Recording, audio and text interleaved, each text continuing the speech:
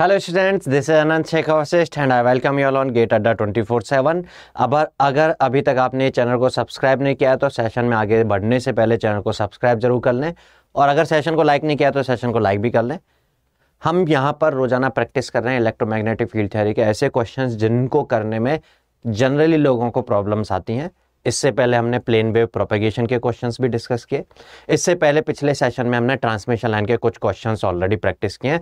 आज इस सेशन में भी हम कुछ ट्रांसमिशन लाइन के क्वेश्चंस प्रैक्टिस करने वाले हैं, जहाँ पर लोगों को प्रॉब्लम्स फील होती हैं। So this is session regarding the challenging question of transmission line अच्छा सेशन में आगे बढ़ने से पहले आप लोग को बता दूँ कि आप अगर किसी भी कॉम्पिटिशन एग्जामिनेशन की प्रिपरेशन कर रहे हैं, किसी एंट्रेंस एग्जामिनेशन की प्रिपरेशन कर रहे हैं तो ये सारी चीज़ें जो हैं, ये फीचर्स जो हैं, आपके लिए रिक्वायरमेंट हो जाती है।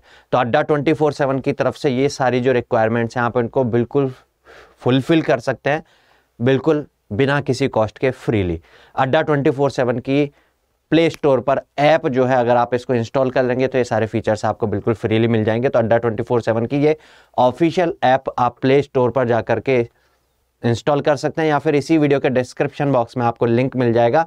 वहाँ से वीडियो इसको अड्डा ट्वेंटी फोर सेवन की ऐप को इंस्टॉल कर सकते हैं। या फिर लाइव में अगर आप यहाँ पर जुड़े हुए हैं तो कमेंट सेक्शन में जो लाइव चैट है, उसमें पिंड मैसेज आपको मिल जाएगा। वहाँ पर क्लिक करके आप इस ऐप को इंस्टॉल कर सकते हैं। अगर आपने इस चैनल को सब्सक्राइब नहीं किया तो चैनल को सब्सक्राइब भी कर लें क्योंकि यहाँ पर गेट 23, गेट 24 के स्टूडेंट्स के लिए जो कंटेंट्स हैं बिल्कुल फ्रीली यहाँ पर सेशंस आते रहते हैं। लाइक यहाँ पर अभी चैलेंजिंग क्वेश्चंस का सेशन चल रहा है जो 23 के स्टूडेंट्स हैं उन लोग के प्रिपरेशन को पॉलिश आउट करने के लिए लॉन्ग आर मैराथन सेशन चल रहे हैं उनके डिफरेंट सब्जेक्ट्स के उनके common subject like engineering mathematics के।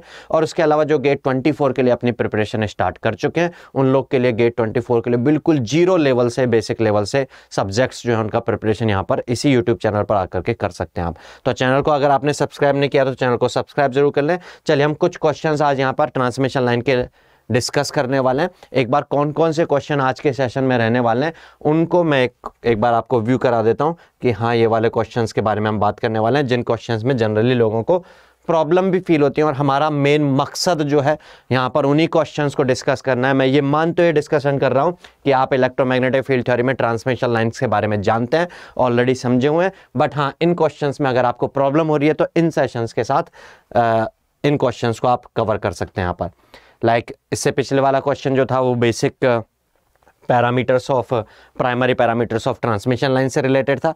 यहाँ पर अगर हम बात करें तो एक ये क्वेश्चन है transient analysis of transmission line से रिलेटेड भी है ये क्वेश्चन यहाँ पर अगर इस क्वेश्चन की बात करें तो ये सिस्टम डिपेंडेंट पैरामीटर से रिलेटेड एक क्वेश्चन है। आ, बहुत टफ तो नहीं है वाला क्वेश्चन बट हाँ आ, हो सकता है आपको प्रॉब्लम फील हो रही हो इसलिए मैंने यहाँ पर इस क्वेश्चन को पिक किया है। ये वाले क्वेश्चन में भी एक यहाँ पर एक पैरामीटर है, वो पैरामीटर के बारे में नॉलेज नहीं होती है, अगर तो इस क्वेश्चन को अटेम्प्ट करने में प्रॉब्लम फील हो रही हो सकती है आपको। तो ये कुछ क्वेश्चन यहाँ पर आज के इस सेशन में हम कवर करने वाले हैं। चलिए तो सबसे पहले, सबसे फ़र्स्ट क्वेश्चन के बारे में बात करते हैं। तो ये चारों क्वेश्चंस जो हैं, आज के सेशन में लास्ट तक बने रहिएगा। इन सारे क्वेश्चंस को हम डिस्कस करने वाले हैं, बिल्कुल डीप में जाकर के समझने वाले हैं। अगर कोई भी प्रॉब्लम हो तो ये प्रॉब्लम यहाँ पे आपकी ओवरकम हो जाएगी इन क्वेश्चन से रिलेटेड चलिए तो क्वेश्चन है a lossless microstrip transmission line consist of a trace of width W it is drawn over a practically infinite ground plane and is separated by dielectric slab of thickness T and relative permittivity epsilon R greater than one जो ये सारे यहाँ पर comment किया हुआ है, यहाँ पर जो क्वेश्चन में बोला हुआ है, इसके बारे में हमें डायग्राम भी इसके सपोर्ट में बता रखा है, अगर इसको समझने में प्रॉब्लम हो। डायग्राम की तरफ़ नज़र मारते हुए वापस से एक बार अगर हम समझें तो क्या बोला हुआ है यहाँ पे हमें? यहाँ पे बताया हुआ है हमें a lossless transmission line consist of a trace of width W यहाँ पर ये दिख रहा है, ये विर्थ डब्ल्यू का ये एक ट्रांसमिशन लाइन है। माइक्रोस्ट्रिप लाइन है, माइक्रोस्ट्रिप लाइन में दो कंडक्टर पैरेलल में होते हैं तो ये तो एक नज़र आ रहा है। दूसरे कंडक्टर के बारे में बोला हुआ है it is drawn over a practically infinite ground plane ये प्रैक्टिकली इनफाइनाइट ग्राउंड प्लेन मतलब इसकी कोई एंड अप नहीं है, कोई और छोर नहीं है। इनफाइनाइट साइज़ का एक ग्राउंड प्लेन है और ground is also a conductor तो हम कह सकते हैं, जैसे माइक्रोस्ट्रिप लाइन में दो कंडक्टर्स होते हैं तो एक कंडक्टर तो ये हो गया जिसकी विर्थ डब्ल्यू है और एक कंडक्टर हो गया जिसकी विर्थ इनफाइनाइट है, जो कि ग्राउंड है। ठीक है। अच्छा। आगे बोला हुआ है कि ये दोनों के बीच में जो सेपरेशन है, वो टी का डिस्टेंस है। क्वेश्चन में फिगर में भी बता रखा है, ये टी से सेपरेटेड है इससे। और बीच का जो मेटेरियल उसके बारे में बोला हुआ है it is filled thickness T and relative permittivity epsilon R इससे जो मटेरियल है, जिससे सेपरेट हो रहा है, उसकी रिलेटिव परमिटिविटी जो एप्सलन आर है, वो ग्रेटर देन वन है। मतलब ये फ्री स्पेस नहीं है, बल्कि कोई डायलैक्ट्रिक मटेरियल होगा। डायलैक्ट्रिक का ही epsilon R greater than one होता है ना? तो ये कोई डायलैक्ट्रिक मटेरियल है। अब आगे बोला है the inductance per unit length and characteristic impedance of line are L and Z naught चार प्राइमरी पैरामीटर होते हैं किसी भी ट्रांसमिशन लाइन के। आर एल जी और सी और ये पर यूनिट लेंथ के लिए होते हैं। तो ये यहाँ पे पर यूनिट लेंथ के लिए है इंडक्टेंस जो है। एक तो ये है। उसके बाद सेकेंडरी पैरामीटर्स होते हैं। उन सेकेंडरी पैरामीटर्स में होता है गामा गामा के दो पार्ट होते हैं एल्फा और बीटा तो कई बार कोई लोग ऐसे बोल देते हैं एल्फा और बीटा सेकेंडरी पैरामीटर है। एक तो गामा हो गया और एक कैरेक्टरिस्टिक इंपोर्टेंस जेड नॉट और एक फ़ेज़ वेलोसिटी वीपी ठीक है? ये चारों ये तीनों सेकेंडरी पैरामीटर्स होते हैं। उनमें से जो ये सेकेंडरी पैरामीटर जिसको हम Z naught means characteristic impedance बोलते हैं, उसके बारे में बोला हुआ है कि कैरेक्टरिस्टिक इंपोर्टेंस इस ट्रांसमिशन लाइन का जो माइक्रोस्ट्रिप लाइन है, इसका जेड नॉट है और इसका जो इंडक्टेंस है पर यूनिट लेंथ है, वो एल है। Which one of the following inequalities is always satisfied कौन सी इनक्वालिटी जो होगी that will be always satisfied ऐसा हमसे पूछा है। इनमें से, अगर हम इनक्वालिटीज पर जो सेटिस्फाई करने की बात कर रहा है, अगर हम देखें तो जेड नॉट को रिलेट करने का बात कर रहा है। किस चीज़ को रिलेट करने का बात कर रहा है? जेड नॉट के बारे में बात कर रहा है। Z naught mean characteristic impedance किसका? माइक्रोस्ट्रिप लाइन का। माइक्रोस्ट्रिप लाइन के कैरेक्टरिस्टिक इंपेडेंस के बारे में बात कर रहा है वो बोल रहा है कि कैरेक्टरिस्टिक इंपेडेंस भाई ये जो ऑप्शन हैं, इनमें किससे लेसर होगा ग्रेटर होगा? ऐसा करके बोला। इक्वल नहीं लेसर ग्रेटर इसलिए इनइक्वेलिटी बोला है। यहाँ पे इक्वेशन ना बोल करके इसको बोलेगा इनइक्वेलिटी कि इनइक्वालिटी में जो ये जेड नॉट आने वाला है, ये इस वैल्यू से लेस आने वाला है या ग्रेटर आने वाला है, ऐसे करके ये ऑप्शन हमें दे रखे हैं। अब जेड नॉट क्या होता है, वो हमारे माइंड में हो अगर, तभी हम जेड नॉट इस पैरामीटर से जो भी ये हमें यहाँ पे दिए हुए राइट हैंड साइड में, उससे लेसर है ग्रेटर है, वो सोच सकते हैं हम। तो हमें कैरेक्टरिस्टिक इंपिडेंस के बारे में नॉलेज होनी चाहिए। हमें यहाँ पे लॉसलेस ट्रांसमिशन लाइन, किसी भी तरह की हो, चाहे माइक्रोस्ट्रिप हो या कोई सा भी हो, हमें लॉसलेस ट्रांसमिशन लाइन के लिए कैरेक्टरिस्टिक इंपोर्टेंस जेड नॉट क्या होता है, उसका फॉर्मूला पता होना चाहिए, जो कि मुझे लगता है कि हर एक एस्पिरेंट को जिसने इलेक्ट्रोमैग्नेटिक फ़ील्ड थ्योरी में ट्रांसमिशन लाइन पढ़ा है, उनको पता होना चाहिए। अच्छा जो जनरल फॉर्मूला होता है जेड नॉट का, वो तो ये होता है Z naught equal to root of R plus J omega L by G plus J omega C. ये तो होता है जनरल फॉर्मूला ये तो जनरल ट्रांसमिशन लाइन के लिए। लेकिन अगर वहीं ट्रांसमिशन लाइन लॉसलेस हो जाए तो फिर उस केस में यहाँ पर ये बन के आ जाता है रूट एल बाई सी या root R by G lossless के लिए। लॉसलेस ट्रांसमिशन लाइन के लिए हो जाता है सॉरी डिस्टोर्सन लेस के लिए होता है रूट आर बाई जी तो। अगर लॉसलेस है तो आर और जी की वैल्यूज़ तो ज़ीरो होंगी। रजिस्टिव लॉस नहीं होने वाला है, कोई रजिस्टेंस ज़ीरो होगा। कोई लीकेज की वजह से जो कंडक्शन लॉस होता है वो भी नहीं होने वाला है तो जी भी ज़ीरो होगा। तो यहाँ पे केवल रह जाएगा J omega L by J omega C means root L by C तो क्योंकि हमें बोला हुआ क्वेश्चन में कि ट्रांसमिशन लाइन लॉसलेस है, इसलिए हम बोल सकते हैं कैरेक्टरिस्टिक इंपोर्टेंस जेड नॉट क्या होगा? रूट एल बाई सी होगा। तो यहाँ पे जेड नॉट जो कैरेक्टरिस्टिक इंपोर्टेंस होगा, जिसकी इनक्वालिटी की बात कर रहा है, अगर मैं अपने तरीके से, अपने अपना से अगर कैलकुलेट करने लगूं तो जेड नॉट मैं बोलूँगा Z naught will be what Z naught will be what root L by C के एग्जैक्टली इक्वल ना लेसर ना ग्रेटर हालाँकि अब वो इनमें से किसके लेस होगा ग्रेटर होगा, वो हमें समझना पड़ेगा। But root L by C से रिलेटेड होगा। अब देखो ऑप्शंस में एल तो नज़र आ रहा है, रूट एल तो नज़र आ रहा है। बाकी जो टर्म्स हैं, वो सी से कैसे रिलेटेड है? अगर बाकी जो ऑप्शन में टर्म्स नज़र आ रही है, ये सी ही हुआ। एल के साथ में ये जो मल्टीपल में आ रहा है, जो मैंने रेड कलर में ब्रैकेट से डिफरेंट किया है, अगर वो सी ही हुआ, तब तो इक्वल बोलना चाहिए। वो सी नहीं हुआ होगा, सी के बजाय कुछ और हुआ होगा। हमें सी से रिलेशनशिप अगर उसका समझ में आ जाए तो ये जो जेड नॉट होगा इस रिज़ल्ट से कितना ग्रेटर होगा या लेसर होगा, ये समझते हम ऑप्शन की बात कर सकते हैं, कौन सा ऑप्शन करेक्ट होगा। ठीक है तो अब हमें सी की बात करनी है, हमें माइक्रोस्ट्रिप लाइन के कैपेसिटेंस की बात करनी है। अब यहाँ पर आ जाता है, जो हमारे प्राइमरी पैरामीटर्स हैं, तीनों तरह की ट्रांसमिशन लाइन के आर एल जी और सी उनके फॉर्मूले हमें याद रहना ज़रूरी होगा, तभी हम ये अप्लाई कर सकते हैं। तो वो याद कैसे रखते हैं, मैं क्लास में बताता हूँ। बारह फॉर्मूले अगर वो ट्रिक्स आपको पता है तो वो बारह के बारह फॉर्मूले जब ज़रूरत पड़ेगी, आपके माइंड से निकल करके आते हैं। तो आपने भी क्लासेज में पढ़े होंगे, सबको पता होगा। जो कैपेसिटेंस होता है माइक्रोस्ट्रिप लाइन या पैरेलल प्लेट लाइन के लिए, वो कैपेसिटेंस होता है। कैपेसिटेंस होता है D by sorry W by D से रिलेटेड होता है और यहाँ पर साथ में जो जो पैरामीटर चल रहा होता है जैसे हमारी कोएक्सल केबल के लिए चल रहा होता है L N B by A जैसे हमारी टू वायर ट्रांसमिशन लाइन के लिए होता है cos hyperbolic inverse D by two है ऐसे यहाँ पर ये चलता है डी बाई डब्ल्यू ठीक है? ये डब्ल्यू बाई डी और एप्सालन एप्सालन का मतलब हो गया हमारा जो बीच में माइक्रोस्ट्रिप लाइन के जो दोनों प्लेट्स हैं, उनके बीच में जो मेटल फ़ील्ड है, उसका परमिटिविटी और ये कैपेसिटेंस जो है omega sorry epsilon W by D जो है, ये जो है, ये कैपेसिटेंस पर यूनिट लेंथ है। यहाँ पे एल और सी की जो बात कर रहे होंगे, यहाँ पे जब भी आर एल सी की बात करेंगे तो ये पर यूनिट लेंथ में होंगे हमेशा। माइक जो पैरल जो प्ले जो ट्रांसमिशन लाइंस होती हैं। उन ट्रांसमिशन लाइन में ये जो प्राइमरी पैरामीटर्स होते हैं, ये पर यूनिट लेंथ के लिए डिफाइन होता है हमेशा। तो ये पर यूनिट लेंथ के लिए यह capacitance. Capacitance of micro strip line strip line, capacitance of micro strip line, per unit length है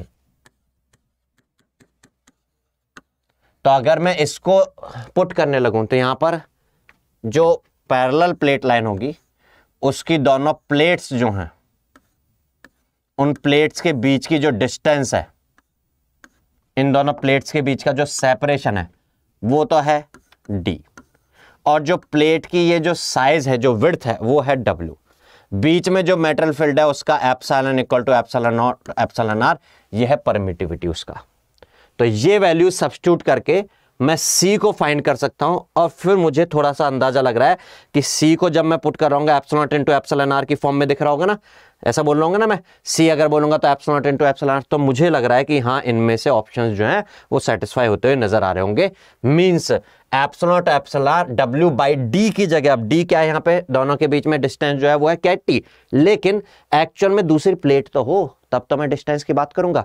यहाँ पर जो ये डिस्टेंस है सेपरेशन जो है, दो प्लेट्स के बीच में। एक प्लेट तो है दूसरी प्लेट है ही नहीं। माइक्रोस्ट्रिप लाइन या पैरेलल प्लेट लाइन की दो प्लेट्स होती है ना पैरेलल में, एक प्लेट तो है, दूसरी तो प्लेट नहीं है, दूसरा तो परफेक्ट इनफाइनेट कंडक्टर है। अब सब लोग को यहाँ पर पता होना चाहिए कंसेप्ट ऑफ़ इमेज चार्ज या इमेज करंट जब भी कभी कोई परफेक्ट कंडक्टिव मटेरियल हो परफेक्ट कंडक्टर हो, उस परफेक्ट कंडक्टर के अबव में, एक साइड में कोई चार्ज हो पॉजिटिव चार्ज हो अगर नेगेटिव भी हो सकता है तो इस पॉजिटिव चार्ज की वजह से जो इलेक्ट्रिक फ़ील्ड होगा, उस इलेक्ट्रिक फ़ील्ड से इस परफेक्ट कंडक्टर के इस सरफेस पर नेगेटिव चार्ज इंड्यूस्ड हो जाता है। उस नेगेटिवली इंड्यूस्ड चार्ज का जो इफ़ेक्ट होता है, वो इस जितनी ये हाइट पर है, उतनी डेप्थ में जाकर के यहाँ पर उतनी ही वैल्यू का, जितनी वैल्यू का, उतनी ही वैल्यू का, उन सब नेगेटिव का इक्वलेंट नेगेटिव क्यों ऐसा हो जाता है। इसको हम बोल देते हैं इमेज चार्ज और हम बोलते हैं कंसेप्ट ऑफ़ इमेज चार्ज ऐसा ही अगर हो यहाँ पर एक करंट फ्लो रहा है लेट सपोज़ यहाँ पे करंट फ्लो रहा है। तो इसी का एक कंसेप्ट ऑफ़ इमेज करंट से जितनी ये ऊपर है, उतनी नीचे होगा, और ये ऊपर हाइट बढ़ती जा रही है तो ये नीचे डेप्थ बढ़ती जाएगी। एक करंट ऐसा हो जाता है, यहाँ पे करंट जा रहा होगा, यहाँ करंट आ रहा होगा। मतलब ये दोनों एक दूसरे के अपोजिट फ़ेज़ में होंगे। ये एंटेना में भी यूज़ में लेते हैं हम कंसेप्ट कि जब मोनोपोल एंटेना होता है, दूसरी तरफ़ ग्राउंडेड होता है तो मोनोपोल का एक पोल तो ऊपर होता है, दूसरा इमेजनरी पोल हो जाता है। तो यहाँ पर ये इमेजनरी पोल टाइप से इमेजनरी करंट हो गया। ये इमेज चार्ज हो गया इमेज करंट हो गया। यहाँ पर भी कुछ ऐसा हो रहा होगा कि ऐसा नहीं अभी हमारे पास, ऐसा होता तो हम सी पुट करते सीधे सीधे बल्कि क्या है यहाँ पर, यहाँ पे एक परफेक्ट कंडक्टर है इनफाइनाइट का, और उसके ऊपर एक डब्ल्यू विर्थ की, ये मैं ऐसे समझाने के लिए ऐसे मान ले रहा हूँ। थ्री डी व्यू समझने के लिए। तो इसका एक इमेज बनेगा यहाँ पर। एक्चुअल नहीं है इमेज है। क्योंकि भाई जब ये ये ट्रांसमिशन लाइन हम यूज़ में ले रहे होंगे तो इसमें करंट फ्लो हो रहा होगा ना। तो जब करंट फ्लो होता है तो उसका कंसेप्ट ऑफ़ इमेज करंट से एक इमेज करंट आ जाएगा यहाँ पर। तो आप कह सकते हो एक एक्चुअल करंट फ्लोइंग हो रहा है जिसमें वो प्लेट है और एक इमेज वाली प्लेट है। तो यहाँ पे इनके बीच की जो डिस्टेंस होगी, ये टी हाइट में तो ये टी नीचे जाकर के होगा, दोनों के बीच की जो डिस्टेंस होगी, वो टू टी हो जानी चाहिए। दूसरी बात, यहाँ पे जो ऊपर वाला पार्ट है, ये फ़ील्ड है डायलैक्ट्रिक से एप्सलॉट इंटू एप्सलन आर करके। नीचे नहीं है ऐसा तो नीचे नहीं है का मतलब यहाँ पे इमेज इसके ऊपर ऊपर है ना ये मटेरियल तो? इसके ऊपर ऊपर है, इसके नीचे थोड़ी है। तो हम कह सकते हैं इसके जो इमेज बन रहा होगा यहाँ पे यहाँ पे कंडक्टर होगा और कंडक्टर में तो पोलराइजेशन होता नहीं है इलेक्ट्रिक पोलराइजेशन होता नहीं है तो उसका epsilon equal to means epsilon naught होगा। तो आप यहाँ पे कह सकते हो, यहाँ पे एक तरीके से एक कैपेसिटर और ये दूसरे दोनों प्लेट जो हैं, इनके बीच में जो मटेरियल है, वो कुछ ऐसा है, यहाँ पे अलग मटेरियल है और यहाँ अलग मटेरियल है। यहाँ एक मटेरियल जिसका epsilon R greater than one है और यहाँ एक मटेरियल जिसका एप्सलन आर वन है। तो यहाँ पर एक कंपोजिट कैपेसिटर का केस बन गया। इसका टोटल कैपेसिटेंस अगर हम फाइंड करें तो पुट कर सकते हैं हम जेड नॉट फाइंड करने के लिए। ये कंपोजिट कैपेसिटर हो गया, जिसका, इसका ये वाला पार्ट का कैपेसिटेंस सी वन ये वाले पार्ट का कैपेसिटेंस सी टू होगा। और ये दोनों कैपेसिटर्स सीरीज़ में कनेक्ट होकर के रिजल्टिंग कैपेसिटर कैपेसिटर बनाएँगे कैपेसिटेंस बनाएँगे। तो रिजल्टिंग जो कैपेसिटेंस होगा सी इक्वलेंट ये हो जाएगा सी वन और सी टू का सीरीज़ कॉम्बिनेशन कैपेसिटर्स में सीरीज़ कॉम्बिनेशन में जो रिलेशन फॉलो होता है, वो रजिस्टर्स के पैरेलल कॉम्बिनेशन वाला फॉलो होता है। तो यहाँ पे जो कैपेसिटेंस सी इक्वलेंट होगा that will be C one C two by C one plus C two अब कैलकुलेशन में पढ़ने के लिए आपको सी वन चाहिए। सी वन के लिए तो एप्साइलन डब्ल्यू ये डब्ल्यू है बाई डी में epsilon equal to epsilon naught आ रहेगा। और सी टू के लिए डी की जगह टी आना है, इसमें भी टी आना है। डब्ल्यू आना है डब्ल्यू विर्थ वही है इमेज जो बनेगा वो डब्ल्यू बनेगा। और जो टी बनना है वो ये बनना है बट एप्सलन आर की वैल्यू वन होकर के नॉट बनेगा। मीन्स में अगर मैं कहूँ यहाँ पे तो सी वन कह सकता हूँ सी वन बनेगा epsilon naught epsilon R W by T और सी टू बनेगा एप्सल नॉट क्योंकि इस वाले मेटल में एप्सल आर वन है, इस वाले कैपेसिटर के लिए एप्सल आर वन है। Epsilon naught W by T जब इन दोनों का parallel combination sorry series combination में एक्सप्रेशन जो है फॉलो हो रहा है, जैसे रजिस्टर्स के पैरेलल कॉम्बिनेशन वाला फॉलो हो रहा है। होता है जैसा। कुछ वैसा है। और जब रजिस्टर्स का पैरेलल कॉम्बिनेशन होता है तो रिजल्टेंट इक्वलेंट जो आता है, वो दोनों में से जो भी कम होता है, उससे भी कम आता है। मुझे बताइएगा, वैसे अभी सी वन में से कौन सा कम है? सीधी सी बात है सी कम है। सी ज़्यादा है। जो इक्वलेंट कैपेसिटेंस आने वाला है, वो सी से तो कम आने वाला है। सी और सी में से सॉरी कौन लेस है? सी टू लेस है। सी टू से कम आने वाला है।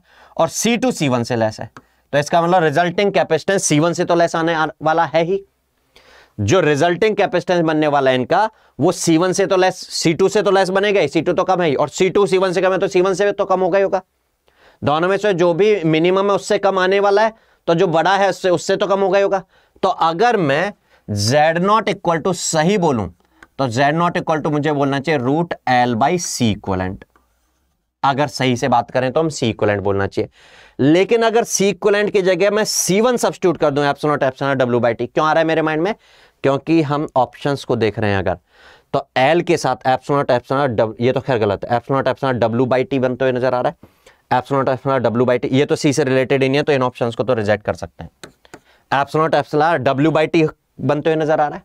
मींस सी वन से रिलेट होकर क्या आ रहा है। एक्चुअल में आना चाहिए था सी इक्वलेंट एक्चुअल में आना चाहिए था सी इक्वलेंट लेकिन अगर मैं सी इक्वलेंट की जगह यहाँ पे सी वन पुट कर दे रहा हूँ C one epsilon naught epsilon naught W by T C one put कर दे रहा हूँ मीन्स जो एक्चुअल वैल्यू होनी चाहिए, उससे घटा के वैल्यू उससे लेसर वैल्यू सब्सिट्यूट किया तो रिज़ल्ट जो बनेगा, वो इससे बढ़ करके आ जाएगा ना। मीन्स एल बाई सी की जो वैल्यू होगी, वो root L by C equivalent से, क्योंकि ये कम है, ज़्यादा होगी। मीन्स ये जेड नॉट है, ये एक्चुअल जेड नॉट हुआ। जेड नॉट इसका मतलब लेसर होना चाहिए किससे? Root L by C one और सी वन का मतलब eps naught epsilon R W by T जो जेड नॉट का वैल्यू है, वो L T by eps naught epsilon W से रूट से कम होना चाहिए, क्योंकि एक्चुअल जेड नॉट है, वो root L by C equivalent है। अगर सी इक्वलेंट की जगह हम सी वन सब्सिट्यूट कर रहे हैं मीन्स हम वैल्यू को घटा रहे हैं तो डिवाइड में वैल्यू घट रही होगी तो रिज़ल्ट बढ़ के आ जाएगा ना। तो एक्चुअल जेड नॉट से वाला वैल्यू जो है, वो ग्रेटर होना चाहिए। तो आप कह सकते हो यहाँ पे कौन सा ऑप्शन सेटिस्फाई कर रहा है? ये वाला सेटिस्फाई कर रहा है। जेड नॉट लेस हो गया root L into T by epsilon naught epsilon R W तो इसलिए बी ऑप्शन करेक्ट हो जाएगा। चलिए, ये क्वेश्चन का जो सॉल्यूशन समझाए अगर इसमें कोई डाउट हो किसी को तो बताएँगे। फिर हम नेक्स्ट क्वेश्चंस पर स्विच करने वाले हैं। सेशन के स्टार्टिंग में मैंने बताया कौन कौन से क्वेश्चंस के बारे में हम बात करने वाले हैं। तो आप लास्ट तक बने रहिएगा वीडियो में, अगले क्वेश्चंस के सॉल्यूशंस को समझना है तो। यहाँ पर इस क्वेश्चन के सॉल्यूशन में अगर कोई भी प्रॉब्लम हो, किसी को डाउट हो, कोई दिक्कत हो तो जो लाइव में जुड़े हुए हैं यहाँ पर, वो बताइएगा, मैं वापस रिपीट करूँ। नहीं तो हम नेक्स्ट क्वेश्चन पर स्विच करेंगे। चलिए नेक्स्ट क्वेश्चन की बात करते हैं। यह है ट्रांजिएंट एनालिसिस से रिलेटेड क्वेश्चन अगर पिछले क्वेश्चन में कोई भी डाउट रह गया हो तो आप यहाँ लाइव में बता सकते हैं। कमेंट करके। चलिए नेक्स्ट क्वेश्चन की बात करते हैं। ये ट्रांजिएंट एनालिसिस से रिलेटेड क्वेश्चन है। और ये क्वेश्चन भी अच्छा क्वेश्चन है। इसको भी समझने में लोगों को प्रॉब्लम आ जाती है कई बार। तो इसलिए इस क्वेश्चन के बारे में भी बात कर ली जाए। A 200 metre long transmission line having parameters shown in figure is terminated into a load RL एक 200 मीटर की ट्रांसमिशन लाइन है। फिगर में खुद बोला है उसने कि देख लो, चलो फिगर में नहीं समझ में आ रही है मेरे बातें तो। फिगर में और उसके पैरामीटर शोन है, उन पैरामीटर्स को देख के आर नॉट। आर नोट का मतलब आप समझ जा रहे होंगे आर नोट का मतलब कैरेक्टरिस्टिक इंपिडेंस क्योंकि प्योर रियल है इसलिए उसने आर नाम दे दिया। वैसे तो जेड नॉट बोलना चाहिए था तो ये कैरेक्टरिस्टिक इंपिडेंस है, जैसे जेड नॉट होता है। अच्छा यहाँ पर जो मटेरियल है, जिस, जो इसमें इस ट्रांसमिशन लाइन के कंस्ट्रक्शन में यूज़ मिला गया होगा? उसका जो एप्सलन आर है, ये फिगर में थोड़ा सा दिखने में कम दिख रहा होगा, समझ में नहीं आ रहा हो तो ये एप्सलन आर दिया हुआ है मीन्स रिलेटिव परमिटिविटी दी हुई है, उसकी 2.25 एक डायलैक्ट्रिक से फ़ील्ड है 2.25 रिलेटिव परमिटिविटी है, और लोड आरएल से टर्मिनेटेड है। क्वेश्चन में अभी तक यहाँ पे बोला है जो, उसको देख के भी समझ में आया। आगे बोला the line is connected to a 400 volt source having source resistance Z अब ये लाइन जो है, इसको एक 400 वोल्ट के सोर्स से, जिसका सोर्स रेजिस्टेंस आर जो है आर की वैल्यू भी फिगर में हमें दे रखी है वन ओम इससे कनेक्टेड है। Through a switch which is close at T equal to zero switch से कनेक्टेड और स्विच को टी इक्वल टू ज़ीरो पर क्लोज किया जा रहा है, ऐसा बोला है। The transient response of the circuit at the input of the line अब इस सर्किट का input of the line input का मतलब यहाँ पे होगा Z equal to zero figure में भी बोला हुआ है z इक्वल टू ज़ीरो वैसे भी हमें समझ में आता है इनपुट का मतलब होगा और क्वेश्चन में बोला input of the line at Z equal to zero तो यहाँ पर जो रेस्पॉन्स होगा, वो हमें शो किया हुआ है अगले फिगर में। उस रेस्पॉन्स को देख करके क्या समझ में आ रहा है? जो वोल्टेज है, वो with respect to time in microsecond plot कर रखा है। कहाँ पर है ये वोल्टेज यहाँ पर। हम जानते हैं, जब भी ट्रांसमिशन लाइन में हम बात करते हैं तो पोजीशंस के साथ या टाइम के साथ वोल्टेज और करंट वेरी कर रहा होता है। जब भी हम वेव की बात करेंगे तो with respect to both space coordinate and time variation होने चाहिए। तो यहाँ पे स्पेस कोऑर्डिनेट वो होता है, जिस डायरेक्शन में वेव ट्रेवल कर रही हो तो ये z है। क्योंकि उसने z equal to one two three ऐसे करते हो यहाँ पे l बोला है मतलब टोटल लेंथ l है तो ये z है। ये z की वैल्यू ज़ीरो और टाइम t के साथ। मतलब आप कह सकते हो जेड तो फिक्स कर दिया। उसने बोला हुआ था कि जेड इक्वल टू ज़ीरो पर बात करना है। जेड तो फिक्स कर दिया मीन यहाँ पर टाइम के साथ जो वोल्टेज वेरिएशन होगा, उसको शो कर रखा है हमें।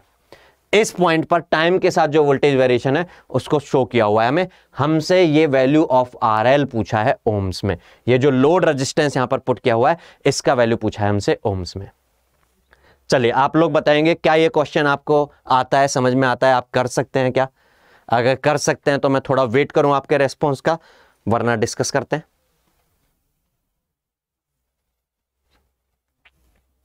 थोड़ा सा यूट्यूब पे उतना इंटरेक्शन नहीं हो पाता है उतना इंटरेक्टिव नहीं रह पाता है। तो थोड़ा सा डिले के साथ चलता है। अगर आप कर पा रहे हो तो आप कमेंट सेक्शन में ज़रूर बताएँगे कि हाँ वेट करिए, अभी थोड़ा सा हम भी अपनी तरफ़ से ट्राई करें। नहीं तो डिस्कस करते हैं। इस टाइप का क्वेश्चन जो है ट्रांजिएंट एनालिसिस से रिलेटेड क्वेश्चन है। चलिए, देखना, समझना। यहाँ पर जो वोल्टेज होगा, यहाँ जो वोल्टेज होगा, वो सबसे पहले time T equal to zero पर क्या होगा? हंड्रेड वोल्ट वो हमें फिगर में भी शो किया हुआ है। हम खुद से भी समझ सकते हैं। जब time T equal to zero की बात करेंगे तो उस टाइम पर स्विच जस्ट ऑन हुआ है। यहाँ सोर्स से निकलने वाले वोल्टेज वेव जो है, वो जस्ट यहाँ पे होंगी, लोड पर नहीं पहुंचेंगी। लोड अगर मैच्ड है, तब तो वहाँ से कोई रिफ्लेक्शन होता ही नहीं है, कोई रिफ्लेक्टेड वेव होगी नहीं। अगर लोड मैच्ड नहीं भी है, आर एल और आर नॉट सेम नहीं भी है, तब भी वहाँ से कोई रिफ्लेक्शन नहीं होने वाला इस टाइम पे, क्योंकि वेव वहाँ पहुँची ही नहीं होगी। वेव जब तक लोड पर पहुँची ही नहीं है तो रिफ्लेक्शन नहीं होने वाला। रिफ्लेक्शन नहीं होना मतलब कोई नो रिफ्लेक्शन के साथ हो। No reflection means perfect matching perfect matched feel हो एक्चुअल में नहीं परफेक्ट मैच्ड आर और आर नोट डिफरेंट हो सकते हैं। हमें पता ही नहीं आरएल का वैल्यू बट जब तक कोई वेव रिफ्लेक्ट होते हुए नहीं आ रही होगी तो नो रिफ्लेक्शन आ रहा होगा। No reflection means perfect matching की तरह बिहेव होगा और परफेक्ट मैच्ड की जब तरह जब बिहेव हो रहा होगा तो इनपुट पर जो इंपिडेंस होगा तो वो इनपुट इंपिडेंस क्या होगा? That will be equal to characteristic impedance of the transmission line तो यहाँ पर हम कह सकते हैं at T equal to zero behaviour जो हो रहा होगा, वो कुछ ऐसा होगा 150 ओम का तो इंटरनल इंपिडेंस है इस सोर्स का। ठीक है? और यहाँ पर जो इनपुट पर इंपिडेंस फील हो रहा होगा, वो जेड नॉट के इक्वली हो जाएगा मीन्स 50 के इक्वली फील हो रहा होगा। ये 400 तो यहाँ जो वोल्टेज आने वाला है, इस पर वो इसी इस, वो इस इनपुट पर ही है ना? वो वोल्टेज हम वोल्टेज डिवीज़न फॉर्मूला से कह सकते हैं। That will be V at zero बोल रहा हूँ मैं, और टाइम ज़ीरो पर है, इसलिए वी एट ज़ीरो कॉमा ये है जेड इक्वल टू जहाँ पर बोल रहा हूँ, और ये जिस टाइम पर बोल रहा हूँ। ये हो जाएगा वोल्टेज डिवीज़न फॉर्मूला से 400 multiply by 50 divide by 400 plus 150 means 200 यहाँ से सॉल्व करके आ रहा है 100 वोल्ट मैं बोल रहा हूँ 100 वोल्ट और उसने भी बोला हुआ है 100 वोल्ट तो मतलब मैं सही डायरेक्शन में चल रहा हूँ कि हाँ ये वाला वोल्टेज इसका मतलब जेड इक्वल टू ज़ीरो पर टाइम ज़ीरो पर वोल्टेज है टाइम ज़ीरो पर वोल्टेज है। अब ये इतना ही रहेगा जब तक कोई रिफ्लेक्शन ना हो। जब रिफ्लेक्टेड वेव होगी, वो यहाँ से रिफ्लेक्ट होगी। अच्छा जो वेव ये हंड्रेड वोल्ट के हंड्रेड वोल्ट की स्ट्रेंथ की वेव जब आगे बढ़ रही होगी हमें ट्रांसमिशन लाइन में बोला हुआ है लॉसलेस है। नहीं भी बोला हुआ है तो क्योंकि कैरेक्टरिस्टिक इंपेडेंस प्योर रियल नज़र आ रहा है तो हमें समझ में आ जाना चाहिए ट्रांसमिशन लाइन लॉसलेस है। तो यहाँ पर 100 वोल्ट की स्ट्रेंथ का वोल्टेज वेव जो है, वो यहाँ तक पहुँचते पहुँचते 100 वोल्ट का ही रहेगा लॉसलेस प्रोपेगेशन हो रहा है क्योंकि। और फिर इस लोड से कुछ रिफ्लेक्शन होगा। वो आरएल की वैल्यू पर डिपेंड करेगा, कितना रिफ्लेक्शन होने वाला है। बट जो रिफ्लेक्टेड वोल्टेज होगी, वो इंसिडेंट वोल्टेज वेव जो 100 वोल्ट की स्ट्रेंथ की थी, उसके साथ एडअप होगी। अगर reflected voltage wave incident voltage wave के सेम फ़ेज़ में हुई, तब तो ऐड होकर के रिज़ल्ट बढ़ जाएगा और अपोजिट फ़ेज़ में हुई तो माइनस हो जाएगा। तो यहाँ से जो रिफ्लेक्टेड वेव है, यहाँ से जो रिफ्लेक्टेड वेव है, वो एडअप हो जाएगी इस हंड्रेड के साथ, जो कि नेगेटिव एडअप होकर के हंड्रेड से घटा सकती है, या जो कि पॉजिटिव एडअप होकर के हंड्रेड से बढ़ा सकती है। किस टाइम पर होगी ये? ये उस टाइम पर होगी जब वेव यहाँ पहुँच जाएगी। जब ये वेव यहाँ पहुँच जाएगी तो वोल्टेज जो इस जगह पर वोल्टेज है, वो 100 प्लस रिफ्लेक्टेड हो जाएगा। लेकिन वो होगा यहाँ पर, हमें जो फिगर में शो किया हुआ है, वो शो किया हुआ है जेड इक्वल टू ज़ीरो पर, यहाँ पर इनपुट पर। क्वेश्चन में बोला हुआ भी है, और फिगर में शो भी किया हुआ है हमें यहाँ पर, ये एट ज़ीरो शो किया हुआ है वोल्टेज जो है। इसलिए ये नहीं समझ लेना है कि उस 100 वोल्ट में रिफ्लेक्टेड को ऐड होकर के ये 100 से ऐसा कुछ हुआ है, नहीं। रिफ्लेक्टेड जो ऐड हुआ है, वो यहाँ पहुंचेगा। और यहाँ पहुंचेगा जिस टाइम पर? उस टाइम पर क्योंकि यहाँ तो पता नहीं रिफ्लेक्शन कितना हो रहा है, लेकिन यहाँ क्लियर सी बात है, ये 50 ओम है और यहाँ से जो वेव ट्रेवल करके आ रही है, उसके लिए ये जो सोर्स इंपिडेंस है, ये इनपुट इंपिडेंस की तरह एक्ट कर रहा है। आप लोगों ने, जिन लोग ने पेड बैचेज में मुझसे पढ़ा है, उन्होंने ट्रांसजेंडर एनालिसिस को अच्छे से समझा होगा, याद आ रहा होगा ना ये चीज़, कि इस तरह से टाइम के साथ एक इंसिडेंट वे होती है, एक रिफ्लेक्टेड वे होती है। जो रिफ्लेक्टेड वे होती है, वो वापस से ट्रेवल करते हुए जा रही होती है, जब सोर्स पर। तो सोर्स इंपिडेंस जो होगा, वो इस वाले का, इस वाली वेव को रिफ्लेक्टेड वेव के लिए एज ए लोड एक्ट करेगा। और अगर उसका इंपिडेंस जिस ट्रांसमिशन लाइन से ट्रेवल करते हुए उसके इक्वल नहीं हुआ तो वहाँ से अगेन रिफ्लेक्शन होगा। वहाँ से होना होने वाला है, सीधी सी बात है, देख के समझ में आ रहा है, वहाँ से रिफ्लेक्शन होने वाला है। तो हम कह सकते हैं लेट सपोज़ वो टाइम है ये दस बजे यहाँ से वेव निकली थी। दस बज के पाँच मिनट पे यहाँ पे पहुँची, पाँच मिनट और वापस लग जाएँगे यहाँ पे आने में। दस बज के पाँच और पाँच, दस मिनट पर ये वेव जो यहाँ पर पहुँच रही है, वो दस हंड्रेड में जो एडअप हो रही है, वो ये होने के साथ साथ जस्ट वहाँ पे रिफ्लेक्टेड भी। मींस हंड्रेड में दो पार्ट एड हुए होंगे, उसके बाद ये चेंज हुआ होगा। अभी मैं एग्ज़ाम्पल में समझाने के लिए दस बज के पाँच मिनट, दस मिनट की बात कर रहा हूँ। यहाँ पर जो भी है ज़ीरो टाइम के बाद इतना इतना टाइम मिलकर टू माइक्रो सेकंड पे ऐसा हो रहा है। हम इसको भी चेक कर सकते हैं, यहाँ पे क्रॉस चेक कर सकते हैं कि हाँ टू माइक्रो सेकंड पर ही ऐसा होगा क्या। क्या ये बात आपको समझ में आ रही है? टू माइक्रो सेकंड वो टाइम होगा जब यहाँ से फॉरवर्ड ट्रेवलिंग वेव जब चली होगी, उसके बाद लोड पर पहुँचने के बाद रिफ्लेक्ट होते हुए वापस यहाँ पे पहुँच गई होगी। उस टाइम से पहले तक यहाँ हंड्रेड वोल्ट ही दिख रहा होगा। यहाँ पे हंड्रेड वोल्ट का स्ट्रेंथ है। वो रिफ्लेक्ट होकर यहाँ पहुँच चुका है। यहाँ से रिफ्लेक्ट होने होने वाले को भी यहाँ पहुँचने में टाइम लगेगा। तब तक ये हंड्रेड वोल्ट ही रहेगा, फिर हंड्रेड से एकदम से चेंज होगा। तो ये वो टाइम है जब वेव यहाँ पहुँच गई है। अब हम वो चेक भी कर सकते हैं, चाहे तो अगर विश्वास नहीं हो इसके ऊपर हमें। जैसे यहाँ विश्वास नहीं हो रहा तो चेक कर लिया हमने। ऐसे इस पर विश्वास नहीं है कि टू माइक्रो सेकंड क्या है तो ये टाइम को हम चेक भी कर सकते हैं एनालिसिस कर सकते हैं। कैसे? क्या मैं बोल सकता हूँ, ये टाइम जो होगा, जो टू माइक्रो सेकंड है चलो, मैं अपनी तरफ़ से कैलकुलेट कर रहा हूँ टू माइक्रो सेकंड तो बाद में देखेंगे। मैं अपनी तरफ़ से कैलकुलेट करूँ तो ये टाइम हो जाएगा क्या? 200 metre plus 200 metre mean 400 metre की डिस्टेंस को ट्रेवल करने में टाइम जो लग रहा है। अब वेलोसिटी क्या होगी वेव की? वेलोसिटी होगी फ़ेज़ वेलोसिटी जो की होती है C by root mu R epsilon R यही होती है ना वेलोसिटी ऑफ़ ईएम वेव अब root mu R epsilon R में से म्यू आर के बारे में कुछ कमेंट नहीं गिवन होता है। कभी भी किसी भी क्वेश्चन में म्यू आर के बारे में कुछ कमेंट नहीं गिवन होता है। चाहे वो ट्रांसमिशन लाइंस का क्वेश्चन हो, चाहे वो प्लेन वेव प्रोपेगेशन का क्वेश्चन हो तो हम मान के चलते हैं non magnetic material mean mu r की वैल्यू वन है।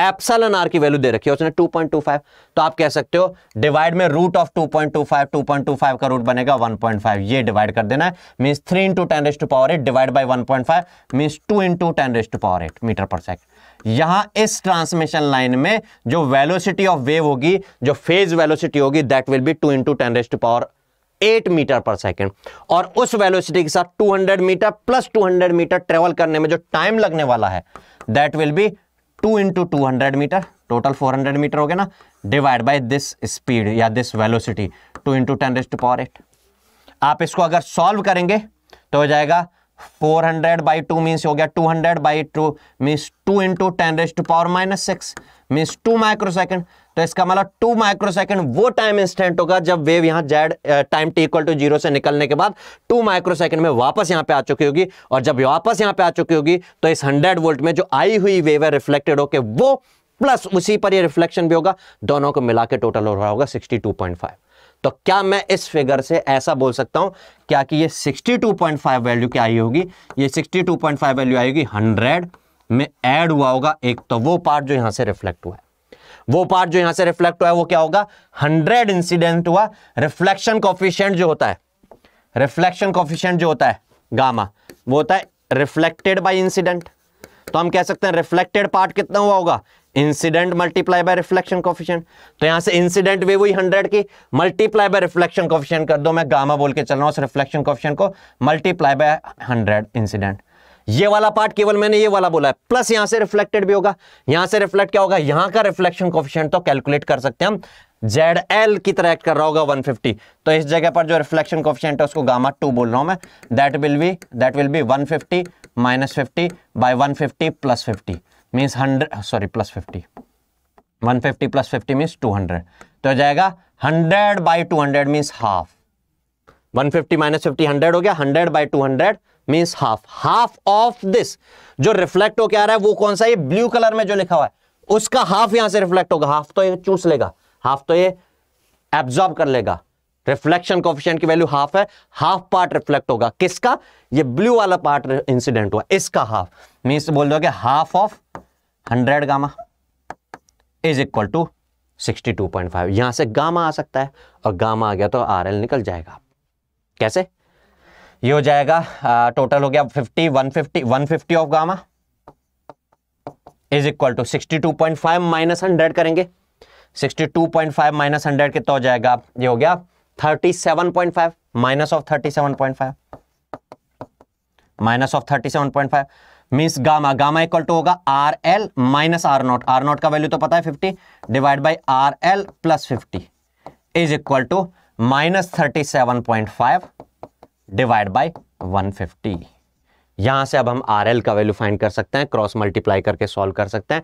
आर एल का रिजल्टिंग वैल्यू जो आएगा that will be load resistance देखो, जिन लोगों ने ट्रांजिएंट एनालिसिस नहीं पढ़ा है उनको ये चीज़ें समझने में दिक्कत हो सकती है कि ये कैसे इंसिडेंट रिफ्लेक्टेड वोल्टेज टाइम के साथ कैसे चेंज हो रहा है, ये कैसे बन रहा है। लेकिन जिन लोगों ने ट्रांजिएंट एनालिसिस पढ़ा होगा, उनके लिए क्वेश्चन इतना चैलेंजिंग नहीं है, इतना चैलेंजिंग नहीं है कि मैं बोलूँ कि ये चैलेंजिंग क्वेश्चन और फिर मैं डिस्कशन की बात करूँ। अब इसको हम क्रॉस मल्टीप्लाई करके सॉल्व कर सकते हैं। ये मैंने फिफ्टीन हंड्रेड क्यों लिख दिया? वन फिफ्टी होगा ना। डिवाइड बाय 150 ठीक है? और ये हो जाएगा, अगर मैं बात करूँ 37.5 का डबल होता है 75 तो ये वन फोर्थ हो वन बाई फोर हो गया means minus one by four कह सकते हो आप इसको सीधे सीधे इससे ये बात तो क्लियर हो जाती है कि आरएल जो है वो 50 से कम होना चाहिए, तभी नेगेटिव आएगा। अब क्रॉस मल्टीप्लाई करके हम सॉल्व कर सकते हैं आर एल का वैल्यू फाइंड कर सकते हैं तो हो जाएगा फोर आर एल माइनस और प्लस हो जाएगा टू हंड्रेड सॉल्व करें अगर तो हो जाएगा four R L minus minus plus हो गया टू हंड्रेड फिफ्टी का फोर मल्टीपल किया। मैंने माइनस को इधर यूज़ में ले लिया, इस वाले बट फिर एक माइनस तो माइनस आर एल के साथ भी लेना चाहिए। माइनस को चलिए उधर रहने देते हैं तो इसको माइनस टू हंड्रेड ही बोलेंगे। Four R L minus two hundred equal to, minus R L minus fifty, minus R L minus fifty तो यहाँ पर हो जाएगा five R L equal to one fifty. So R L will be equal to what? One fifty by five means thirty ohm so thirty ohm इसका answer हो जाएगा। Thirty ohm इस question का आंसर बन रहा है। ये क्वेश्चन में प्रॉब्लम अगर आपको थी तो आई होप क्लियर हुआ होगा क्वेश्चन अगर अभी भी कोई प्रॉब्लम है तो आप यहाँ पे बता सकते हैं। अभी भी कोई चीज़ समझने में प्रॉब्लम हुई हो अगर इस क्वेश्चन में तो आप बता सकते हैं। मैं रिपीट करूँगा, बिल्कुल। ये दो क्वेश्चन जो स्टार्टिंग वाले दो क्वेश्चन थे, थोड़े अच्छे क्वेश्चन थे। हालाँकि अगले क्वेश्चन जो हैं, बाकी उनमें भी थोड़ा सा कुछ तो चैलेंजेस हैं, उनके बारे में भी बात करेंगे। चलिए, इनमें कोई डाउट तो नहीं होगा, ये क्लियर हो रहा है ना सब लोग को? नेक्स्ट क्वेश्चन की बात कर लेते हैं। The input impedance of a lambda by eight section of a lossless transmission line of characteristic impedance 50 ohm is found to be real when the other end is terminated by a load, this. X का value दे रखा है R का value पूछा है. एक lambda by eight line की transmission line का जो कैरेक्टरिस्टिक इंपिडेंस है, वो हमें दे रखा है. लोड इंपिडेंस में भी कुछ पार्ट दे दिया है, कुछ अननोन पार्ट है. इनपुट इंपिडेंस के बारे में वैल्यू तो नहीं बोली बट ये बोला है रियल है. तो आर का क्या वैल्यू हो गया हमसे पूछा है. इनपुट इंपिडेंस का जो जनरल फॉर्मूला होता है, उसके बारे में बात करें अगर हम. इनपुट इंपिडेंस का जो जनरल फॉर्मूला होता है जेड इन अगर जनरल बात करें तो होता है Z naught Z L plus J Z naught tan beta L अब बीटा एल क्या हो जाएगा? बीटा एल हो जाएगा two pi by lambda into length length हमें दे रखी है लेमड़ा बाई एट तो हो जाएगा पाई बाय फोर और टेन पाई बाय फोर की वैल्यू होती है वन तो इसलिए मैं टेन पाई बाय फोर नहीं लिख रहा, फिर यहाँ पे वन हो गया बाय नीचे होता है Z naught plus J Z L tan beta tan pi by four means one ये जो वैल्यू है, ये इनपुट इंपिडेंस है। इसमें से कुछ चीज़ें हमें पता है लाइक ये जेड नॉट पता है हमें। लाइक जेड एल में से आर अननोन है, लेकिन एक्स की वैल्यू गिवन है thirty plus J fifty by Z naught तो गिवन है fifty plus J R unknown है, लेकिन एक्स पता है। ये आएगा हमारे हिसाब से इनपुट इंपिडेंस बट इसने बोला है कि ये कैसा है। वैल्यू नहीं बताई बट ये बोला है कि ये प्योर रियल है। अगर बोल दिया ये प्योर रियल तो वैल्यू नहीं है वैल्यू नहीं है तो कैसे फाइंड करें भाई हमार? इस इक्वेशन में आर अननोन है और इधर में भी जो चीज़ है वो वो अननोन है।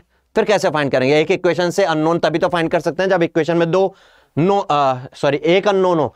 यहाँ पे तो दो दो अननोन है। तो ये वैल्यू नहीं दे रखी बट इसका मतलब समझिएगा, यहाँ पर इसको कैलकुलेट करेंगे तो आप समझ में आता है जनरली बात करें तो कॉम्प्लेक्स वैल्यू आएगी। लेकिन ये प्योर रियल का मतलब उस कॉम्प्लेक्स वैल्यू का जो इमेजिनरी पार्ट आना चाहिए that should be zero real part क्या होगा? नहीं पता. बट ये अननोन है. बट ये नोन हो गया ना इसमें कि इमेजिनरी पार्ट इसमें ज़ीरो आ रहा होगा. तो इसका इमेजिनरी पार्ट को ज़ीरो के इक्वेट कर देंगे. अननोन का वैल्यू आ जाएगा. इस अननोन का वैल्यू फाइंड कर सकते हैं अब हम. क्या हो जाएगा यहाँ पर? इमेजिनरी पार्ट अगर आप इसका कैलकुलेट करोगे, ये हो गया माइनस थर्टी हो जाएगा ना? Fifty minus thirty mean twenty तो डिवाइड में आ रहा है twenty plus J of R अगर मैं इसका इमेजिनरी पार्ट फाइंड करना चाहूँ तो रेशनलाइजेशन करके रिजल्टेंट इमेजिनरी पार्ट बनेगा ना? तो twenty plus J of R से रेशनलाइज करने के लिए twenty minus J of R से ऊपर नीचे मल्टीप्लाई कर देते हैं। किसको मल्टीप्लाई करना है भाई हमें? यहाँ पर ओवरऑल देखें तो आर प्लस जे एट्टी बन के आ रहा है। और ये प्योर रियल है। यहाँ से समझ में आ रहा है, ये प्योर रियल है, इसका मतलब imaginary part should be zero imaginary part कैसे आएगा? एक तो इन दोनों के मल्टीपल से आएगा। एक इन दोनों के मल्टीपल से आएगा। ठीक है इमेजनरी पार्ट आने वाले देखो इन दोनों के मल्टीपल से ट्वेंटी इंटू एट्टी ये कितना हो गया? Twenty into eighty mean sixteen hundred ठीक है और इमेजनरी पार्ट क्या आने वाला है? ये माइनस आने वाला है ना? Minus R square minus R square इसमें से जे कॉमन आउट ले लिया मैंने। फिफ्टी भी होगा हालाँकि, लेकिन अब ज़ीरो के इक्वेट ही कर रहे हैं तो जे को भी हटाइए। ज़ीरो में गया और equal to zero R square should be equal to what sixteen hundred so R should be what forty ohm खत्म देखने में हो सकता है क्वेश्चन टफ लगाओ, लेकिन एक्चुअल में बात की तो ऐसा है नहीं कुछ इसमें। आई होप ये क्वेश्चन क्लियर हुआ होगा। और अगर आपको ये चीज़ें समझ में आ रही हैं आप एंजॉय कर रहे हो तो बीच में कमेंट सेक्शन में बता सकते हो कुछ बोल सकते हो कि हाँ समझ में आया। आ, मुझे पता है आप मगन होकर के समझ रहे हो चीज़ों को और इसमें प्रॉब्लम्स नहीं होंगी क्वेश्चंस में तभी लाइव में आकर के इनको देख रहे हो। है ना? तो आप तो लाइव में देख ही रहे हो, बाकी आप लोग के फ्रेंड सर्कल में जो लोग हों, उनके साथ भी शेयर कीजिएगा सेशंस को, क्योंकि हम यहाँ पर इसी तरह के क्वेश्चंस डिस्कशन कर रहे हैं, क्योंकि अब एट द एंड आ गया है आपका गेट 23 की प्रिपरेशन में तो उन क्वेश्चंस के बारे में बात करना ज़रूरी हो जाता है, जहाँ पर चैलेंजेस आ रहे होंगे। सब्जेक्ट्स को तो ऑलरेडी आपने पढ़ ही लिया होगा, कहीं से भी पढ़ाओ लेकिन हाँ फिर भी जो प्रॉब्लम्स रह गए हैं, जो चैलेंजिंग क्वेश्चंस रह गए हैं, जहाँ पर चैलेंजेस फील हो रहे हैं, उनको हम डिस्कस करते हैं। तो ये इस तरह के सेशंस आपके सामने आते रहें। उसके लिए थोड़ा सा आपकी तरफ़ से हमें ये मोटिवेशन चाहिए कि आप यहाँ पर लाइव सेशंस में आप आकर के अटेंड करें और आपके फ्रेंड सर्कल में जो है, उन लोग को भी इनवाइट करें। जैसे जितने ज़्यादा लोग होंगे, उतना हमें मोटिवेशन मिलता रहेगा कि हाँ इसी तरह के सेशंस और आगे आते रहें। और सेशन को लाइक भी करिएगा अपने फ्रेंड्स लोग के साथ शेयर करने के साथ साथ चलिए नेक्स्ट अब अगले क्वेश्चन की बात कर लेते हैं। ये वाले क्वेश्चन में बात करें तो बस एक ही चीज़ है जहाँ पर लोगों को प्रॉब्लम फील आती है। यहाँ पे प्रॉब्लम फील जहाँ पर होती है, वो ये आती है, ये रिटर्न लॉस क्या होता है? एक ही बस ये प्रॉब्लम फील होती है। The return loss of a device is found to be 20 dB the voltage standing wave ratio and magnitude of reflection coefficient are respectively voltage standing wave ratio क्या होता है? बच्चा बच्चा जानते बच्चा बच्चा मतलब जिसने पढ़ा हुआ है।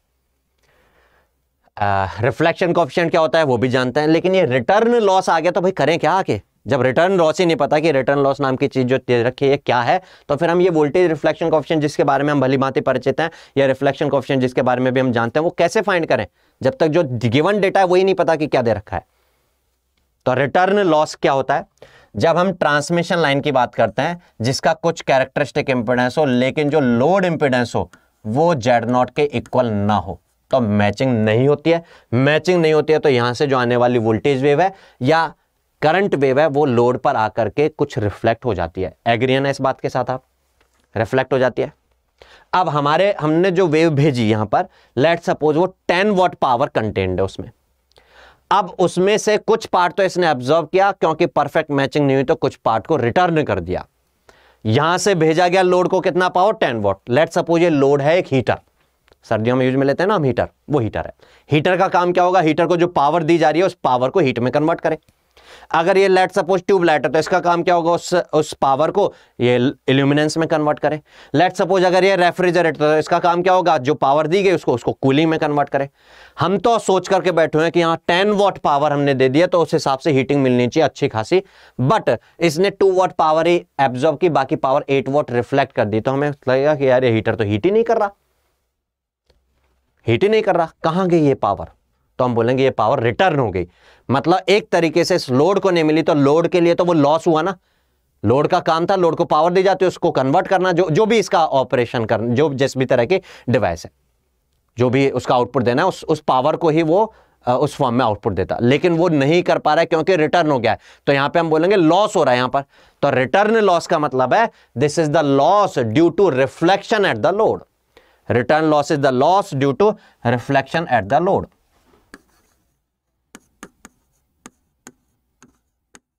return loss is loss due to reflection at the load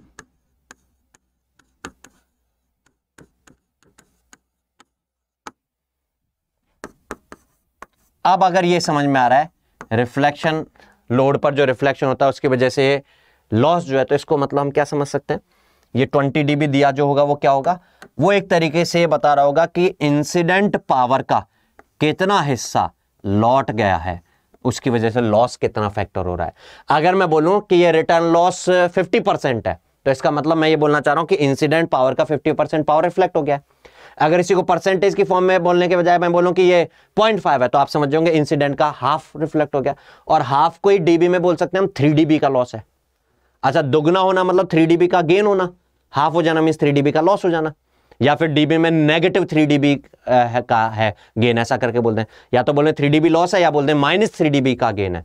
तो माइनस होने का मतलब ही लॉस होना है। तो यहाँ पर जो रिटर्न लॉस दिया हुआ है, हमें वो डीबी में दिया हुआ है। और वो रिटर्न लॉस का मतलब पावर रिटर्न कितनी होगी इंसिडेंट पावर का, वो डीबी में दिया हुआ है हमें। कितना दिया है डीबी में? ट्वेंटी डीबी क्योंकि लॉस है, इसलिए हम बोलेंगे माइनस ट्वेंटी क्योंकि ये लॉस है, इसका मतलब रिटर्न जो और कॉमन सेंस भी बोलता है कि जो रिफ्लेक्टेड पावर है रिटर्न पावर है, वो इंसिडेंट से कुछ कम ही होगी। तो ये वाला जो वैल्यू होगा लेस देन वन होगा लेस देन वन क्वांटिटी का डीबी कैलकुलेट करेंगे। लॉग की वैल्यू लेस देन वन के लिए कैलकुलेट करते हैं तो नेगेटिव आती है तो माइनस होगा। और वैसे भी समझ सकते हैं लॉस है, इसलिए माइनस ट्वेंटी डीबी यहाँ से P R by P I in terms of dB की बजाय, अगर डीबी के बजाय हम एब्सोल्यूट फॉर्म में कैलकुलेट करना चाहें तो कैलकुलेट कर सकते हैं क्या? हम इसका मतलब कह सकते हैं सिंपल जो रहा होगा P R by P I incident power by sorry reflected power by incident power को डीबी में कन्वर्ट किया होगा होगा तो टेन लॉक करके बोला क्या होगा ना? दैट इज़ माइनस ट्वेंटी तो यहाँ से आप समझ सकते हैं इसका मतलब P R by P I absolute value हो रही होगी टेन उधर गया माइनस टू हो गया टेन का पावर हटाने के लॉक को हटाने के लिए टेन का पावर करना पड़ेगा। तो टेन का power minus two mean zero point zero one ये बन के आ रहा है P R by P I क्या रिफ्लेक्टेड बाई इंसिडेंट ही रिफ्लेक्शन कॉफिशियंट होता है? Reflected part by incident part he reflection coefficient होता है? हमसे रिफ्लेक्शन कॉफिशियंट पूछा है ना? नहीं। रिफ्लेक्शन कॉफिशियंट जो होता है, गामा जिसको हम रिप्रेजेंट करते हैं, वो या तो वोल्टेज के लिए हम बोलते हैं या करंट के लिए हम बोलते हैं। और अगर मैं बात करूँ तो ऐसे कह सकता हूँ क्या पी आर जो होगा और पी आई जो होगा, वो वोल्टेज के स्क्वायर से रिलेटेड होगा। तो V R square by V I square mean V R by V I का स्क्वायर होगा। मतलब यहाँ पे गामा नहीं, बल्कि गामा का स्क्वायर है ज़ीरो पॉइंट ज़ीरो वन तो गामा क्या हो जाएगा? ज़ीरो पॉइंट वन हो जाएगा। अगर गामा का square zero point zero one है तो गामा ज़ीरो पॉइंट वन हो जाएगा। तो रिफ्लेक्शन कॉफिशियंट की वैल्यू हो जाएगी ज़ीरो पॉइंट वन मीन्स इस ऑप्शन को हम रिजेक्ट कर सकते हैं। बाकी सारे ऑप्शन ज़ीरो पॉइंट वन के साथ ही हैं। अब हमें दूसरी चीज़ पर ध्यान देना है, क्या? Reflection coefficient VSW R VSW R इस गामा से रिलेटेड कैसे होता है, ये सबको पता होगा। ये तो सबको पता ही होगा। यहाँ पे हम बाकी पार्ट की बात करें। वीएसडब्ल्यू आर जो एस होता है, वो गामा से ऐसे रिलेटेड होता है। S equal to one plus mod gamma by one minus mod gamma. यहाँ पे ये वाली वैल्यू जो है, इसको सब्सिट्यूट करके सॉल्व कर सकते हैं हम। बाकी कॉमन सेंस से भी बिना कैलकुलेशन के समझ सकते हैं हम क्या?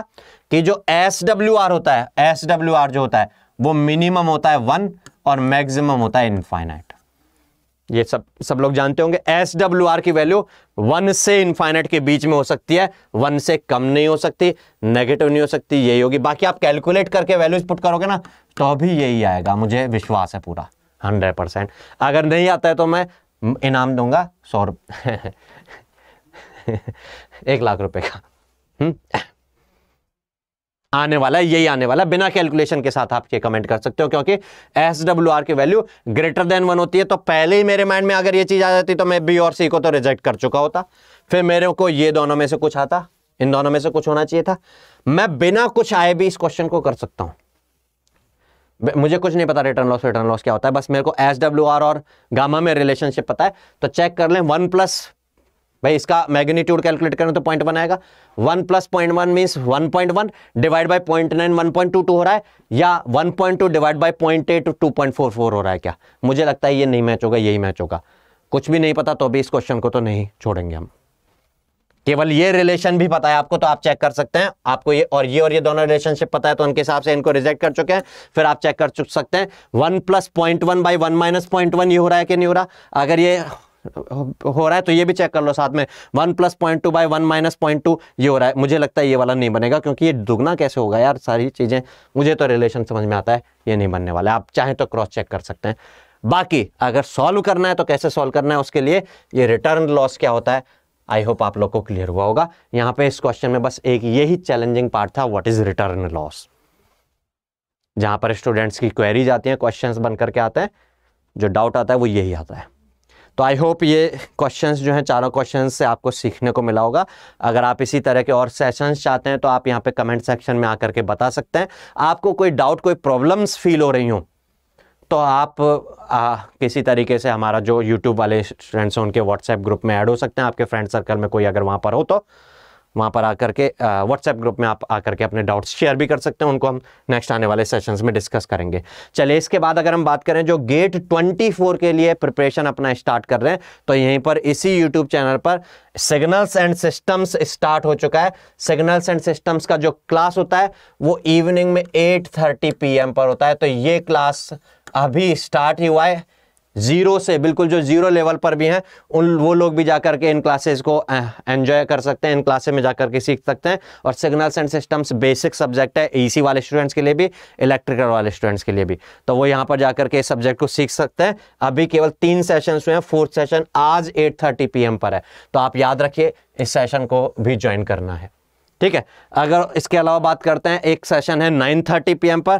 9:30 पीएम पर आप इस सेशन को जाकर के ज्वाइन कर सकते हैं। 9:30 पीएम पर डेली क्लास होती है कंट्रोल सिस्टम्स की। इसकी भी दो सेशंस हुए हैं। आज थर्ड सेशन है थर्ड लेक्चर है। तो आप यहाँ पर आकर के 9:30 पीएम पर कंट्रोल सिस्टम का ये जो सेशन है, इसको अटेंड कर सकते हैं। उसके अलावा जो 23 के लिए प्रिपरेशन कर रहे हैं, उन लोग के लिए मैं बता दूँ पिछला जो संडे कल जो संडे गया फोर्थ ऑफ़ दिसंबर उसको हमने कुछ टॉपिक्स मैराथन सेशन में डिस्कस किए थे। नेक्स्ट ये और टॉपिक्स हम डिस्कस करने वाले हैं अपकमिंग संडे में। तो इसका जो क्लास का टाइमिंग रहेगा, इस सेशन का जो टाइमिंग रहेगा, इसी यूट्यूब चैनल पर 2 पीएम 2 पीएम इलेवंथ ऑफ़ दिसंबर पे रहेगा। तो यहाँ पर आकर के आप अपने इन टॉपिक्स के रिवीजन कर सकते हो यहाँ पर शॉर्ट नोट बना सकते हो लाइव में। कुछ कुछ क्वेश्चंस भी बीच में डिस्कशन में करता हूँ मैराथन सेशन के बीच में, जिससे थोड़ा सा चीज़ें जो है, वो जल्दी से ग्रेस्प हो जाए। बाकी क्वेश्चन सेशन तो अलग से रहेंगे इंजी मैथमेटिक्स के। ऑलरेडी आप इस यूट्यूब चैनल पर आकर के एंजॉय कर रहे होंगे, आपने देखे भी होंगे। जो लोग डेडिकेटेड बैचेस ज्वाइन करना चाहते हैं गेट ट्वेंटी के लिए तो वो बिना अपना टाइम खराब किए, इन बैचेस को ज्वाइन कर सकते हैं। ये केवल मैं मैकेनिकल सॉरी ईसी इलेक्ट्रिक के लिए नहीं बता रहा हूँ, सभी ब्रांचेस के लिए। तो एक गुरुकुल बैच है जो अभी जस्ट स्टार्ट हो रहा है आज से फिफ्थ ऑफ़ दिसंबर से। ये स्टार्ट हो रहा है, बिल्कुल ज़ीरो से स्टार्ट होगा तो आप इस बैच को आकर के ज्वाइन कर सकते हैं। यहाँ पर इस बैच को आप अड्डा ट्वेंटी फोर सेवन की ऐप पर जाकर के देख सकते हैं अड्डा ट्वेंटी फोर सेवन की वेबसाइट पर जाकर के देख सकते हैं, ये बैच का क्या ड्यूरेशन रहेगा कितने ड्यूरेशन का इसमें कोर्स कंटेंट रहेगा, वो सब जाकर के आप सर्च कर सकते हैं। मैं भी आपके सामने इसको लाइव में सर्च करके बता देता हूँ, क्या कॉस्टिंग रहने वाली है इसमें क्या क्या फीचर्स मिलने वाले हैं। तो आप यहाँ पे अगर गूगल पे जाकर के अड्डा ट्वेंटी फोर सेवन सर्च करेंगे तो आपको अड्डा ट्वेंटी फोर सेवन की ये ऑफिशियल वेबसाइट मिल जाएगी। यहाँ पर जाकर के आप देखेंगे तो ऑल कोर्सेज में आप जाएँगे ऑल कोर्सेज में जाकर के क्लिक करेंगे गेट एंड इंजीनियरिंग एग्जामिनेशन में। ठीक है? तो यहाँ गेट एंड इंजीनियरिंग एग्जामिनेशन में गेट एंड ईएससी आपको मिल जाएगा तो ये सारे कोर्सेज नज़र आ जाएँगे सभी ब्रांचेज के। अभी जो मैं कोर्स की बात कर रहा हूँ, वही है गुरुकुल, जो कि गेट 24 के स्टूडेंट्स के लिए तो जो अभी थर्ड ईयर के स्टूडेंट और नेक्स्ट ईयर में 24 के लिए उनको बहुत अच्छे से प्रिपेयर करके अटेम्प्ट करना है। और जो सेकेंड ईयर के स्टूडेंट भी हैं, क्योंकि थर्ड ईयर में एलिजिबल हो जाते हैं वो तो वो इस, इन बैचेज को ज्वाइन कर सकते हैं, जो 24 में भी और 25 में भी अटेम्प्ट करेंगे। क्योंकि यहाँ पर इसकी वैलिडिटी जो है वो वन ईयर की नहीं रहने वाली है। यहाँ पर इसकी वैलिडिटी रहने वाली है पूरे वन पॉइंट फाइव ईयर्स की एट्टीन मंथ्स की। तो जो सेकेंड ईयर वाले स्टूडेंट्स हैं, वो भी इसको ज्वाइन करके बहुत बेहतरीन तरीके से अपना गेट 24 और गेट 25 का प्रिपरेशन कर सकते हैं। यहाँ पे अगर कंटेंट की बात करें तो जो कंटेंट डिलीवरी रहेगा वो 1600 हंड्रेड आवर्स के आसपास का यहाँ पर लाइव कंटेंट रहेगा 1600 हंड्रेड आवर्स का। वैलिडिटी आपको 18 मंथ्स की मिलेगी। और भी जो फीचर्स हैं यहाँ पर इस बैच के, वो आप इसको वेबसाइट पर जा करके सर्च करके देख सकते हो। अगर कोई इससे रिलेटेड कोई क्वेरी फिर भी रहती है आपको तो आप यहाँ पर काउंसलर से कनेक्ट करके और उनसे अपना जो है जान सकते हो कि क्या क्या किस तरह से यहाँ पर रहने वाला है। अगर मैं प्राइसेस की बात करूँ तो ये प्राइसेस को और ज़्यादा अफोर्डेबल बना सकते हैं हम, अगर ऑफ़र से अप्लाई करें तो आपको स्क्रीन पर नज़र आ रहा होगा। वाई सिक्स फाइव सेवन इस कोड को आपको अप्लाई करेंगे अगर Y six five seven just minute Y six five seven ये कोड अगर आप अप्लाई करेंगे। Just minute Y six five seven तो यहाँ पर आपका सेवनटीन परसेंट का ऑफ़ हो जाएगा। कोड को याद रखना है, ये कोड अप्लाई करने के बाद ही आपको यहाँ पर ऑफ़र प्राइस मिलेगा। That is Y six five seven छह सौ सत्तावन वाई छह सौ सत्तावन। ये 17 परसेंट ऑफ़र आप पे आपको मिल रहा है। लेकिन अगर यही अड्डा 24/7 की वेबसाइट पर जाने के बजाय आप अगर अड्डा 24/7 की ऐप पर जाकर के देखेंगे तो ऐप पर कैसे देखेंगे? यहीं पर आपको कमेंट सेक्शन में या डिस्क्रिप्शन बॉक्स में लिंक मिल जाएगा अड्डा 24/7 का ऐप का। उस पर क्लिक करके आप अड्डा 24/7 की ऐप इंस्टॉल करने के बाद वहाँ देखेंगे तो यहाँ पर plus extra one percent off और मिलेगा। तो ये जो है और ज़्यादा अफोर्डेबल हो जाएगा। तो अब ये जो बैचेज स्टार्ट हो रहे हैं 24 के लिए हमारे पास अच्छे से टाइम है। बिना टाइम गंवाए इन बैचेज को आप ज्वाइन कर सकते हैं, जहाँ पर सभी सब्जेक्ट को बहुत बेहतरीन तरीके से बिल्कुल ज़ीरो के लेवल से पढ़ाया जाएगा। जहाँ आपको बिल्कुल भी नहीं आता है इलेक्ट्रॉनिक्स का इलेक्ट्रिकल का ई भी नहीं आता है तो अभी आप यहाँ पर इन बैचेज को ज्वाइन करके बहुत अच्छे से समझ सकते हैं। तो आपको ये सर्च कर लेना है बैचेज जो भी हैं तो जितना जल्दी हो सके यहाँ पर इनको ज्वाइन करना है, क्योंकि अभी आपके सेमेस्टर एग्ज़ाम्स एंड अप होने वाले होंगे, हो गए होंगे तो आप इन बैचेज को ज्वाइन करके अपनी प्रिपरेशन जो है उसको अच्छे तरीके के साथ यहाँ पर पूरा टाइम मिल जाएगा। तो टाइम से पहले मतलब नेक्स्ट ईयर में आप अक्टूबर, सितंबर, अक्टूबर तक अपना जब सिलेबस कंप्लीट कर चुके होंगे तो आपके पास इनफ टाइम भी रहेगा रिविजन के लिए। आई होप ये वाले जो क्वेश्चंस हैं, इन क्वेश्चंस से आपको सीखने को मिला होगा और भी इसी तरह के सेशंस आपके सामने आते रहें। आप और इसी तरीके से चीज़ों को सीखते रहें। तो चैनल को सब्सक्राइब ज़रूर करिएगा। यहीं पर आपको सब्सक्रिप्शन का बटन मिल दिख रहा होगा। उसको क्लिक करने के साथ साथ नोटिफिकेशन ऑन भी कर लेना सो so दैट जो भी आगे कोई आने वाले सेशंस रहें, उन सेशंस का नोटिफिकेशन आपको मिलता रहे। ये बाकी और भी जो बैचेज हैं, जो ट्वेंटी के लिए प्रिपरेशन कर रहे हैं, उन लोग के लिए सब्जेक्ट वाइज भी यहाँ पर आप प्रिपरेशन कर सकते हो। चलिए तो मिलते हैं हम नेक्स्ट सेशन में। आई होप आपने सेशन को एंजॉय किया होगा। अपने फ्रेंड्स लोग के साथ शेयर भी कीजिएगा। मिलते हैं नेक्स्ट सेशन में। तब तक के लिए गुड बाय टेक केयर